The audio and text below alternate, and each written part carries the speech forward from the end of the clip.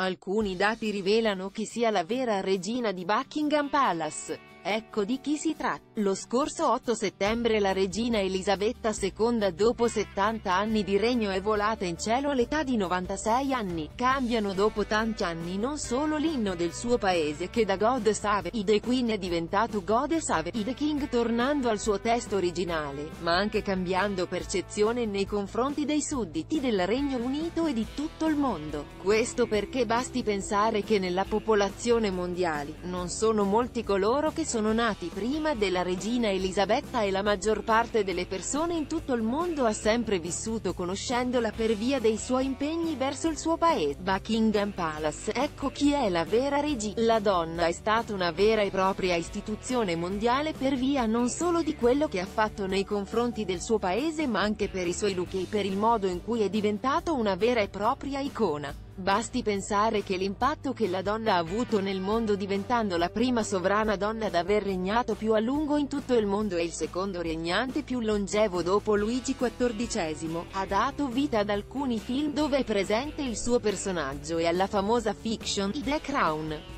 La sua immagine è stata utilizzata anche per alcuni film d'animazione, tra cui l'ultimo Rex e un cucciolo a palazzo dove viene messo in evidenza l'amore della regina per i suoi cani. Con la sua dipartita, il nuovo sovrano del Regno Unito è diventato il suo primogenito re Carlo III e di conseguenza sua moglie Camilla Scenda è diventata la regina consorte anche se sono in molti ad essere contrari a questa decisione. La donna è stata per molti anni al centro di alcuni scandali a palazzo, dato che ha dato molti grattacapi per via del fatto che avesse una relazione clandestina con il principe Carlo anche quando questo era sposato con la sua prima moglie Diana Spencer. I dati da Recco, il popolo e tutto il mondo, ricorda con affetto la principessa scomparsa, che ha perso la vita nel 1997 a causa di un incidente d'auto in cui era in compagnia del suo nuovo compagno Dodi Al-Fayed. I funerali di Lady Diana furono un vero e proprio evento mediatico e furono seguiti da tantissimi telespettatori in tutto il mondo, infatti si stima che più di 2000 persone presero parte alla cerimonia funebre a Westminster mentre la televisione britannica ebbe il record di 32 milioni e 100 mila spettatori diventando uno degli eventi più seguiti di sempre.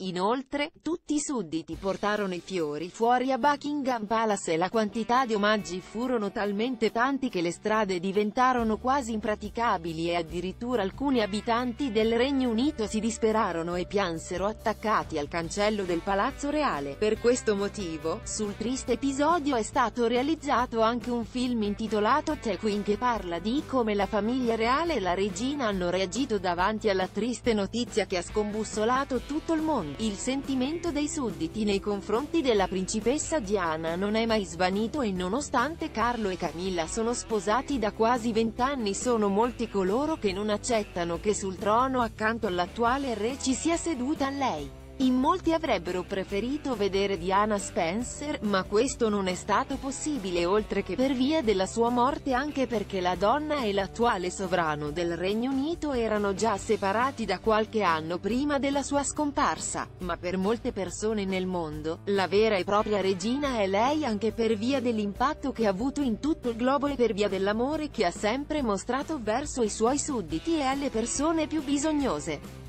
Sul web, in questi giorni, sono state pubblicate le immagini dei figli di Carlo e Diana, il principe William e il principe Harry intenti a salutare i sudditi arrivati a palazzo per omaggiare la regina.